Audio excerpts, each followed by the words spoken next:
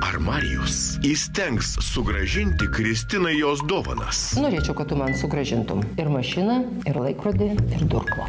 O kokius planus rezga meda? Aš sutinku su tavo pasiūlymu. Tik yra dar vienas mažas niuansėlis. Man 20 procentų, o Natalija praskirsim. Moteris meluoja geriau. Pirmadieniais, ketvirtadieniais 20.30 tik per TV3.